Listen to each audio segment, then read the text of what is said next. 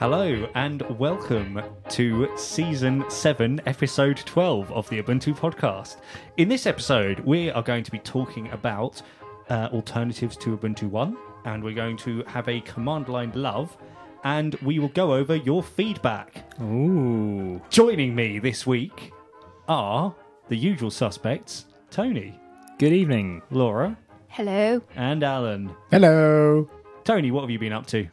Um, I've been trying the new version of the software I use for photo processing. It's called Aftershot. Uh huh. It used to be called Bibble, and then it got bought by Corel, who make PaintShop Pro, um, and they called it Aftershot. And they've released a new version for the first time in about 18 months. and um, I've been trying to see the differences between that and the uh, old version. There's not much in it, to be honest. Um, but it is, it is, it is one of the few kind of, let's say, professional um, grade pieces of photo software that's available on Linux, Windows, and Mac OS. So it's kind of You've nice. been using that for a while now, haven't you? Yeah, I've been using it for well, I guess three years since I started. You know, getting into photography professionally, really. Um, and uh, it is still very good, um, but it's not quite the change that I was used to. But I want to support them because they do keep making it for Linux, and hopefully will continue to do so. And this will cue lots of people writing in and say, use open source software piece of uh, piece of software called X, whatever it is. So I, Yeah, so I'm feel free to do that. Tony at the UK. Yeah, cheers, mate. Thanks. wow. Oh seven three. Alan, what have you been up to? uh, avoiding Tony from is what I'll be doing this week. Uh, so uh, last week, uh, last episode, I mentioned um, the Ubuntu Mate remix. So uh, in a bit of my spare time, I've been learning how to uh, create live CDs, like remixes of Ubuntu, Ah, which is quite when, interesting. Is it uh, a mummy CD and a daddy CD really love each other? yeah, kind of. Uh, no, well, it's not really that straightforward, and it's not, and it's not actually that well documented either. It's, uh, it's which has been quite painful. I've had Oh. to. There's there's two ways you can do it. You can basically unpack a live CD Yeah. and fiddle around with it, or or create a chroot and put loads of stuff in it that you want, and then unpack a live CD and put all the bits together, and like it's a bit like a Frankenstein cut and shut CD, which works Yeah. um, just, or you can use the tools that are provided that, that are used to build the Ubuntu CDs, the official Ubuntu Yeah. CDs, using seeds and a tool called Germinate and a, and a tool called Live Build. But all of that is really badly documented. is it the people who know how to do it do it all the time? Yeah, I found a, I found a document with various comments from the people who who use. Well, no, it's it's one of those things that's been set up and runs for like it's been Oh, running see, right. for like ten years building the ISOs. Yeah. So nobody ever touches it, and there's no reason to document it because it's all done and it works. So yeah, it's a bit frustrating. Cool. Hmm. Laura, what have you been doing? Got a new phone. You got an Ubuntu phone? Was that? Not exactly, Ah. but apparently it will be supported. Alan said. Alan when you asked said? him. did not. What'd you get? Uh, Sony Xperia Z1 Compact, A white one. a white one. Yeah, Yeah, it's nice. Mm, it's very nice. Yeah. I Got was very good reviews. I was surprised when you hit the photo button, it doesn't open the photo app. It does. It You were didn't doing when it I wrong, You pressed gotta press and hold it. Ah, okay. Because that way you don't do it in your pocket. I suppose. Ah, yeah, Yeah. take photos in my pocket. I do it all the time. That's why. Yeah. Cool. Is it good? Running latest Android and all that? Seems to be. Is it clean, I haven't really clean used Android or is it using, has it got some front endy skinny thing? It didn't look like it did. it yet. It's got Sony stuff on it, but not as the skin in the same way that HTC does it. Right. It's a bit less obvious. Um, the well, the main thing is that it shows up lots of stuff about the Sony Unlimited music, oh, right. like a music store type thing. right. And I know in the uh, review I read, they said they complained about how it was in your face and stuff, but it seems okay to turn it off. Well, oh, see, this is the problem with Android. If you if if Sony don't do that, how are they going to Yeah, differentiate themselves? And if if you if you don't pay for the Sony one, what are you going to do? You're going to pay for the Google one. So all the Hmm. revenue is going to go straight to Google. Uh, but it's quite cool because they well they've done their own apps, which are all right. I've not really tried them yet, um, but the music one's called Walkman. oh, I know. is it a little Amazing. picture of a cassette or anything? I haven't looked yet. Oh, but that would yeah, be cool. That'd be cool. Does it play the music at the wrong speed? Like, My Walkman always used to do that. Not sure. What about you, Mark? Uh, I went to Barcamp Birmingham, which is Oh, I saw you tweet about that. yes, it's, Was it uh, good? Yeah, it was really good actually. It was organised by um, Floss UK, who are formerly the UK Unix user group, Um, and yeah, uh, there was probably about mm, 30, 20, 30 people there. Um, I did a couple of talks. Uh, On what? I did one on OggCamp, Yay! uh, and I did one on. Uh, I did a talk at OggCamp a few years ago about running your own sort of cloud services at home. So I did a sort of updated version of that with what I'm using today, which actually ties in nicely with our segment, which we're going to do. Cool. Um, and uh, I also sort of chipped in a bit. Pete Cannon was there and did a, a, a talk about podcasting. So I, I chipped into his talk a bit. Has he got a podcast? Sorry, I say that every time. Yeah. he just opens his front door and shouts. Some fool walked up with a microphone and. Ah, There okay. you go. The rest is history. Yeah. Yeah. Right. Shall we get on with the show? Yes.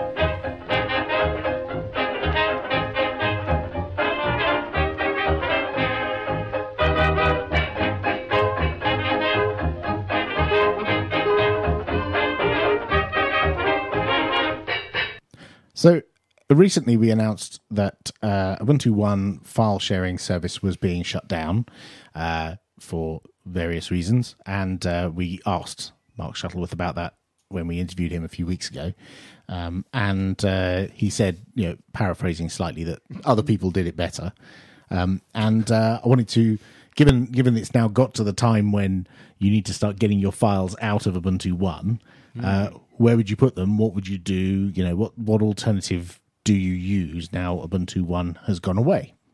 And I figured there's probably a bunch of options, and I know you guys all use different options, and I've got something different. But I figured there's some criteria that that probably most people are going to be um, thinking about when they're looking at an alternative to Ubuntu One, and I've called this the Cresco scale. It- oh, this isn't. This is something you made up. Is Yeah, it? yeah, it's, to- it's totally official. I'm going to make a Wikipedia page about it and everything. Right. Uh, so Cresco stands for uh, cross-platform availability. You know, if you're not just using Linux or you got an Android phone or something, yeah, that might be important. Uh, reliability, how robust is it? Uh, ease of use, uh, how secure is it? Uh, do you have control of your own data? Uh, what's it cost and how much do you get for that cost? And how open is it? Right. so, what do you want to uh, to? I mean, you've got a few. I, I noticed you've you've noted down a few suggestions of of solutions. Yeah, I mean, I know what I've got, but what do you, what do you guys use, Tony? Um, I moved to Dropbox. And what triggered that? Um, what triggered you choosing Dropbox over any of the others? Did you look at any others, or did you just go Dropbox? I had a Dropbox account already, so I just looked at that. Mostly. So that was easy. Yeah. It compared it with itself. Was it? Yeah. Were you already paying for it at that point? Um, no, I, I still haven't. Oh, yeah, you had still- to. sorry. still using the free the free account. Right. So um, yeah, so I just thought Dropbox is there. I've got an account, and um, let's see if it does what I need it to do. So I uh, I tried it, and it seems to work okay. And um, I've moved all my stuff from Ubuntu One into Dropbox, and happy days. Is What- it easy to use?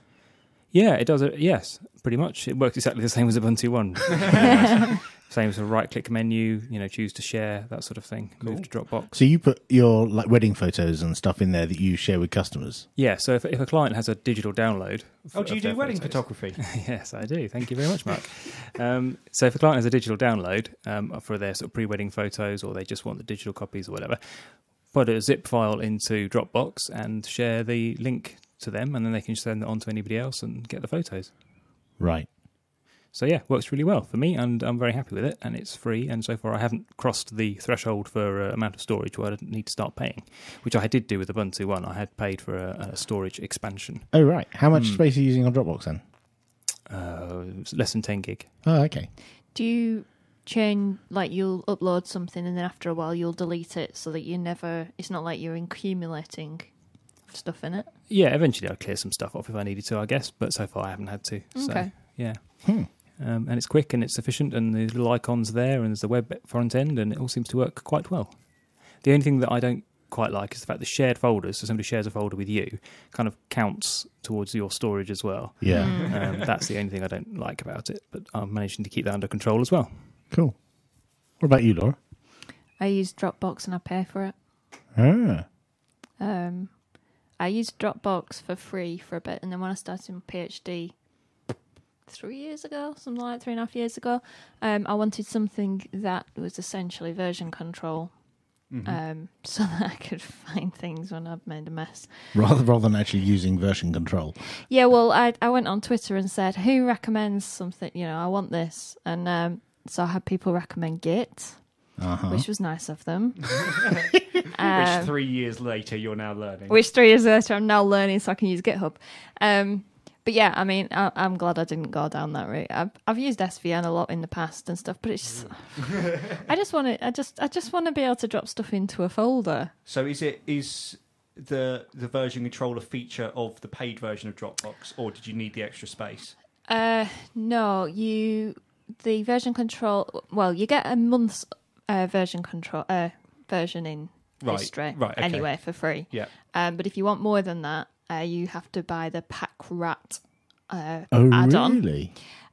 Pack Rat add-on is fairly cheap, Yeah. but in order to have the Pack Rat, You need extra you need space. Pro version. Well, Oh, no, it's oh, not no. so much the space. Oh, I see. the- you have to. you just have to version have the. Pro version. And how much is that? Um, all in all, I think it's about seventy-eight quid a year. Is that for more? Something Does like that give you more space and? Yeah, you Rat? get a hundred for being Pro. You get a hundred gig. Wow. Okay. That's quite. And then, and so I put all my, pho- my pho- Yeah. photos and everything. It was like Yeah. 30 gig of photos. Right. Um, yeah, and then you and the pack rat thing. But uh, to be fair, I've never actually gone beyond like a week or two. So in on balance, maybe don't need it, but um, yeah, the space is useful now.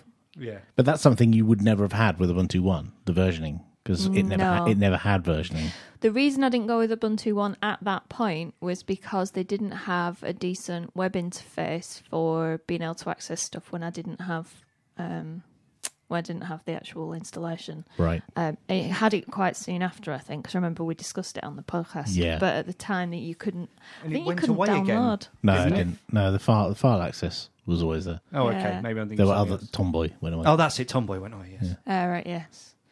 Um, yeah, so yeah, I still use it. Partly, partly it's kind of just because it works. Why would I change, kind of thing? And I've sort of you pay, I pay once a year, so Right. Yeah. any time in the year I think about it, I go, oh, I'll forget about it till November or whatever. Come November, it goes, oh yeah, we've just taken eighty pounds out of your account. All right, well I may as well stick you for another year. Cunning. Do, do either of you worry about the um, the fact that your data is now with someone else on Dropbox servers and not encrypted? Not really for the sort of things that I'm putting in it. Um, Because it's all just photos. yeah, yeah. Right. Um, well, I mean, if I put some documents and things in there as well, but They're they're not your private photos. They're other people's private photos. well, they are stuff that's that's mostly there for distribution anyway. Yeah. So it's not like it's um, yeah, massively secure design documents or you know Yeah. intellectual property or anything else. Could that I- you not achieve the same thing by uh, like SCPing the files up to a web host and giving them a link to a folder?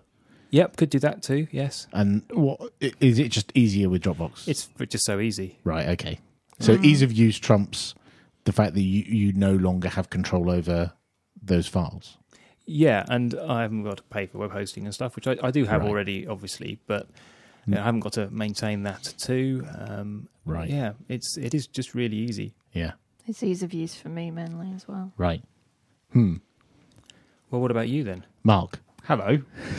Uh, I have made my way through various solutions over the years. Here we Come, go. tell us this about is, this is the alternative version. So yeah, so I when Dropbox first came out, it was basically the only thing that did it. So I used Dropbox for a bit and found it very easy and convenient. Um, I then started trying to move away from having stuff stored on servers which I don't control, essentially. Mm. Um, so I moved to OwnCloud, um, which um, I've and spoken. you had that running on a box at home. yeah, and I still have it running on a box at home. Right. Um, I've spoken about this quite a lot on the show before, so I won't go into massive detail. You can probably search the archives and hear diatribes from me about OwnCloud.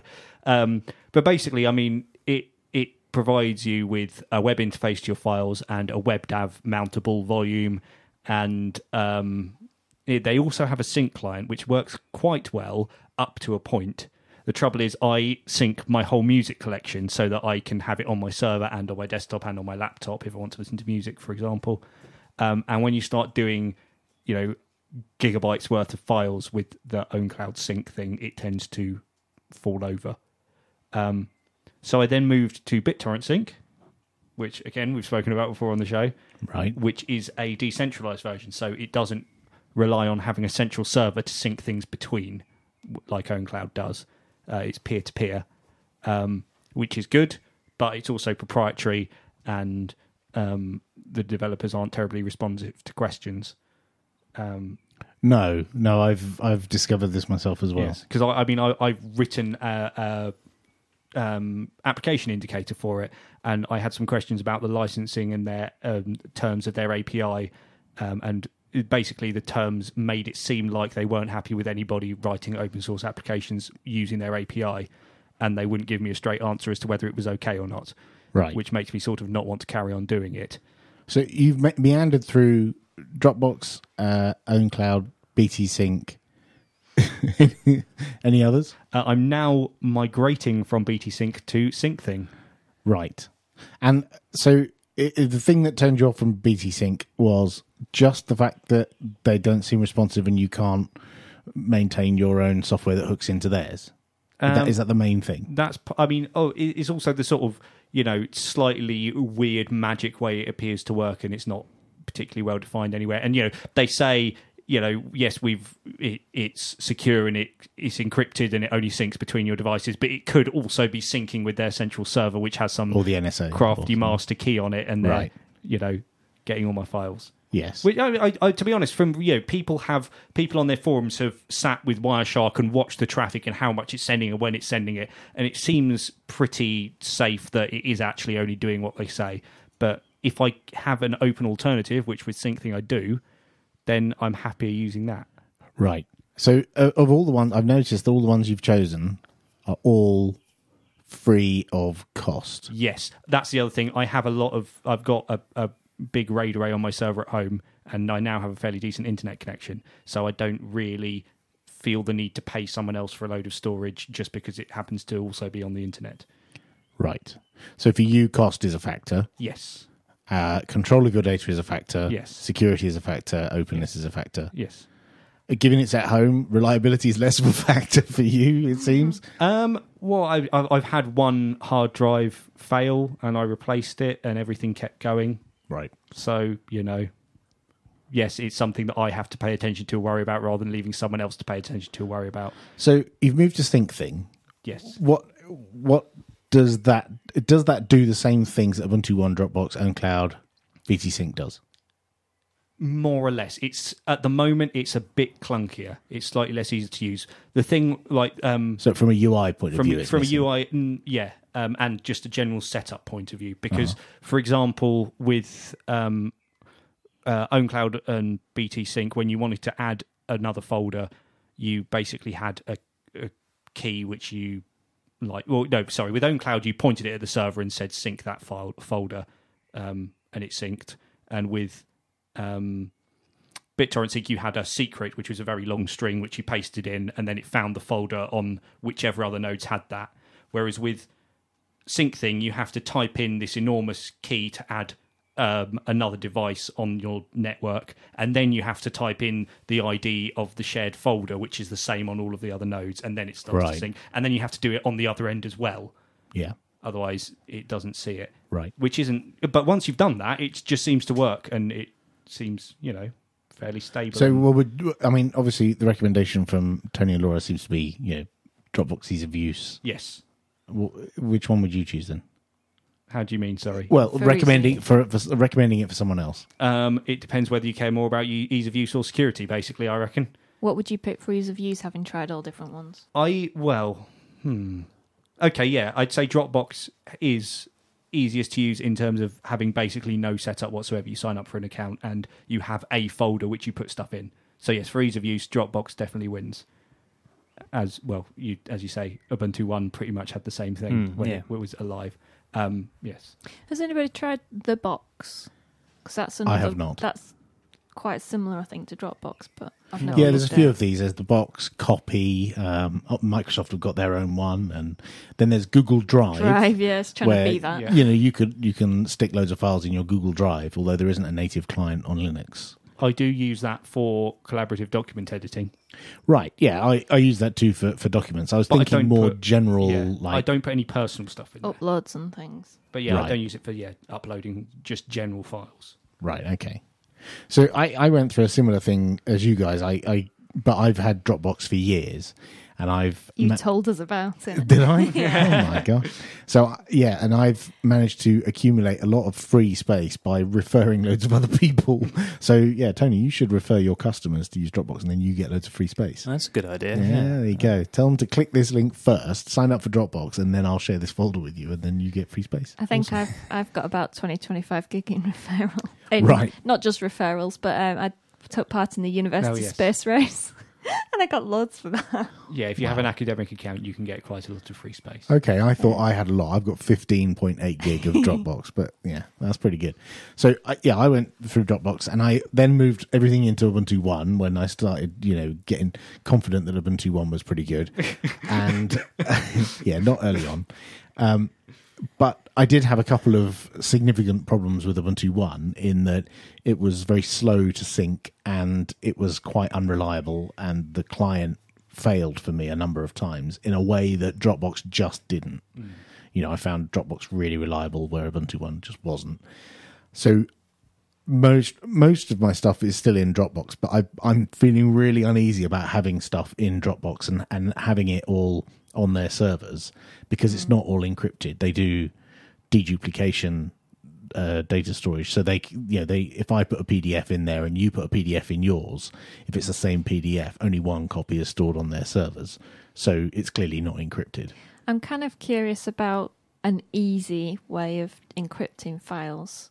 So what I do, I, I have I have a, uh, a few files in my um, Dropbox, uh, which which is encrypted, um, and uh, it's it's uh, it's actually not that hard if you if you don't mind using GPG. Uh, so Right. uh, I use used it, and I, I got well, so there is a, there is a GUI to set up GPG keys, right? And you basically mash the keys and type in a password, and yeah, it's really straightforward. There's a thing called Seahorse on Ubuntu, right? Once you've got that key, you can then encrypt a file, and this is where it gets a little bit nerdy. Yeah, it's really really easy. I use Vim with with a GPG plugin, and so every time I open these GPG encrypted files, the Vim GPG plugin decrypts the file for me, Right. and I can then edit it. So that's fine for text files. and as soon as I save it, it gets re-encrypted back to disk automatically, so I don't have to do anything. Um, so that's really nice, but it's only for plain text files or whatever you can edit in Vim. I'd kind of like something where it does it within the file manager Yes. and is cross-platform, and because I've got it's not the same thing, but I've got a password manager KeePass, and Right. it's Yeah. brilliant that it runs on Android, Linux, and uh, Windows, Right. and I can just download the file from Dropbox, and I know so, it's Dropbox. so what you're what you're really wanting is a, like a container inside which you can put loads of stuff, and you know it's encrypted, Yeah. and you can share it across all the machines, and you can open it on all the machines, which is basically what TrueCrypt was. yeah, um, and TrueCrypt Next should continue to be. So keep an eye on TrueCrypt Next. But I've I've also switched to um, SyncThing, and I've been using SyncThing um, for syncing files between my laptop, my desktop, and my home server, and just my own files on my own machines. But more recently, while I was working with Martin Wimpress on the Ubuntu Mate remix, he's put SyncThing on his server and we've shared a folder that's got the ISO images in and another folder that's got the documentation and our notes in.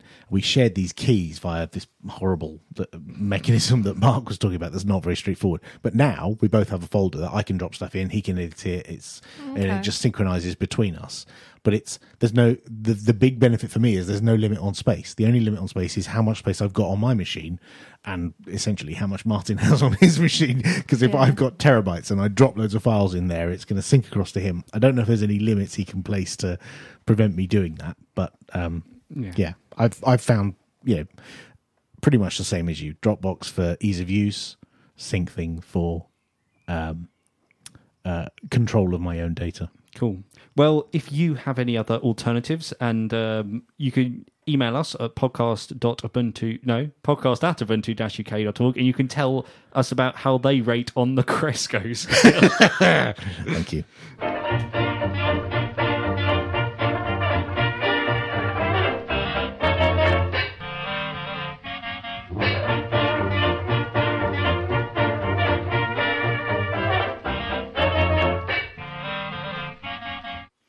time now for command line love, and this one is based around the DF command, which shows you the size of uh, file systems and how much space it's got left on it. Right. Read it out. Read it out. No, it's really complicated and horrible to what read does out. it do? So it um, orders your file systems by uh, by the percentage that they've been used. Um, so the command, the uh, content of DF is just sort of fairly random. I think I don't know quite how it's ordered uh, Right. normally, but it sorts that um, based on the amount of uh, percentage of your file space that's been used. So you can see each of your different disks or other devices you've connected or plugged into it, like USB sticks. Um, and how much space there is left on them. You can also, uh, with a different different option, um, sort by file system size. So it just makes it a little bit more intuitive, maybe about where to look in that list. Seems Uh, like seems like the kind of feature which should be built into DF, doesn't it? Yeah, the fact that there's something being constructed which is so horribly complex and uh, circuitous in order to get there is a little bit um, disappointing in a way. Well, you know, part of this gigantic command is just making, well, quite a big chunk of it is just making sure that the header is at the top, Yeah. which, you know, seems a bit weird. It would be nice if, you know, you didn't have to worry about that. But True. Yeah. Yeah. Okay. If you cut that bit out, I guess it would be a lot more simple. But um, yeah, that's all fine, isn't it? yeah, yeah, no, no, it's good. I tried it myself and, uh, yeah, it works. It's nice. Yeah. Excellent. Cool. It's good. Well, that'll save you valuable seconds, Well, yeah, apart from the time you spent looking for that command, presumably. yeah, that too. Okay, and that's the command line love for this time.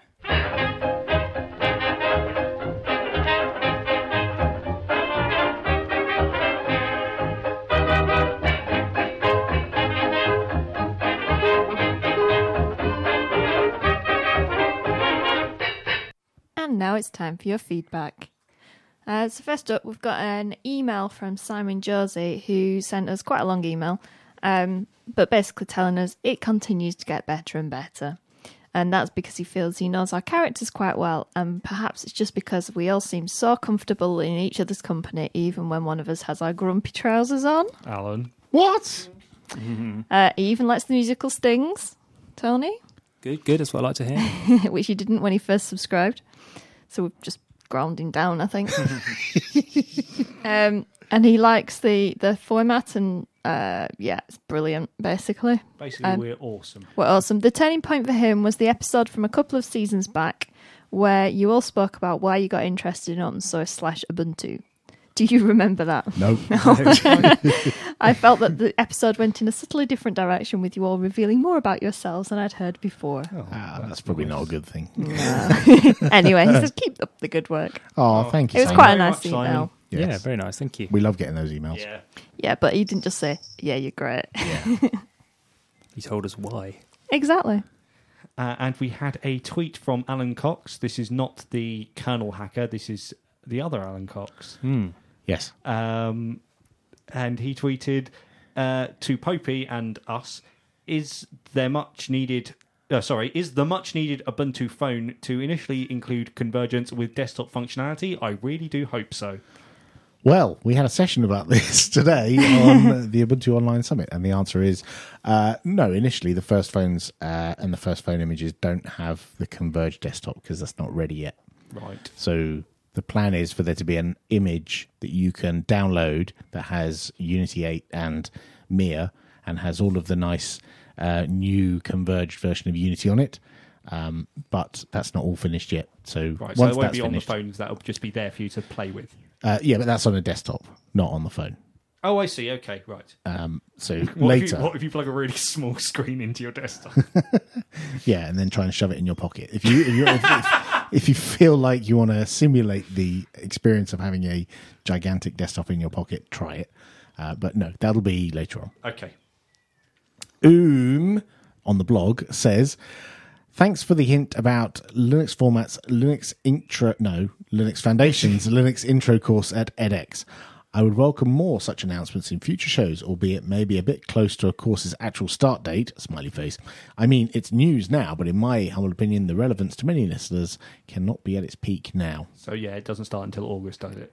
Yeah, you But I know, you want you to wanna get sign up now, Yeah, you want to sign up, get yourself ready, get your pencil sharpened, and uh, get your notepads out. Coloured pens. Get your lucky Scented gong. gel pens. Uh, Yeah. So uh, there's a couple to read out now. So Dan Winan donated to my Malawi mission. Um, You're going to Malawi. really? Well, yeah, yeah. Um, so, but he, when? but he specifically wanted a shout out um, for having done so because he donated fourteen oh four. Uh, Oh, Fourteen nice. pounds and four pence. So the latest. I didn't get a shout out. The latest edition of Ubuntu. You donated anonymously. Um, the Oh yeah. when I was twenty five pounds away from the limit, you donated twenty four pounds ninety nine p. yes, yes, I did. I now realise this was you. I did have a, I did have a suspicion, but yeah. And then Dave Wickham from um, the open source community actually just tipped me over the uh, over the target amount. So And donated. Doopy. Yeah. yeah, absolutely, yeah, yeah. So um, everybody has been really kind and generous, and lots of other people who I know as well have been really uh, generous and supported the whole thing. So it's amazing, really. We're talking Mm. about it for nearly a year. And Mm. I've- Now I've you actually there. got to do it. Yeah. Yeah. We're finally getting rid of you. So yes, so, yeah, so thank you very much indeed. Um, finally, get rid of me, oi! I heard that. so um, the last thing we've got is an email from Doctor Jellyface. That's what he said. Um, he's writing because he can't resist the please do contact us sting for the fourth or fifth time. Wow, Um, someone likes it. Yeah. Um, and it works, apparently. Um, so he just wants to say we're awesome again. you know, Oh, what can too we do? Um, and we're wonderful. Um, It's not that we have loads and loads of email and most of it says we suck and we don't read that out. we do actually get quite a few nice ones. yeah. Um, so he's quite a new Linuxer for about three months, rub- running Ubuntu. What else? With Ubuntu desktop installed because his computer's not powerful enough for Unity. Um, he says, "Please, can you make the podcast a bit louder?" Turn the volume up.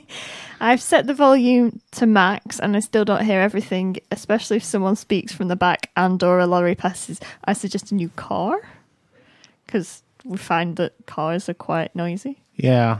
it's Um, tricky. It is tricky to get the levels right. A Yeah. Jag or something probably Maybe usually cuts out the noise. Put your ear trumpet back in. And, uh, although not while you're driving. Yeah. Oh, we're, we're very nice to people who, who write feedback in, aren't we? Yeah. No, speech, Thank you for the feedback. We highly appreciate it. Speech is difficult in cars. Yes. Uh, gaming with Tony should be longer. Yeah. Really, really shouldn't be. I, Yeah. I completely agree. Yes, it should be. It almost should be spun off into a separate show. Yeah, His gaming with face. Tony. Oh, honestly. Anyway, yeah. So he likes it. Cool. Right. Thank you, Dr. Jellyface. Sorry, just want an opportunity to say that name again. The Ubuntu podcast needs you. Yes, you. If there's something you think we should talk about or someone we should talk to, tweet at UUPC or email podcast at ubuntu-uk.org. You can also talk to us on the telephone, Skype, Facebook, and Google+. Find links to all these places on our website, podcast.ubuntu-uk.org. And remember, if we don't hear from you, we might not have enough content, and that can only mean one thing more quizzes. Please, no, not more quizzes. Uh, thank you for listening, everybody. Oh, oh, Alan's got something to say before I say goodbye. Oh, well, no, I was just thinking on the way here. We haven't done a quiz for a long time, and we No, haven't, we haven't. we haven't done a product review for a long time, and we haven't given away stuff for a long time. So, if people want to send us stuff to review or want to give us stuff that we will give away to our listeners for a prize, yes. then let us know. Podcast at ubuntu-uk.org. Thank you very much for listening. The next live show will be on Wednesday, the 25th of June at half past eight. Goodbye. Half past eight in the Goodbye.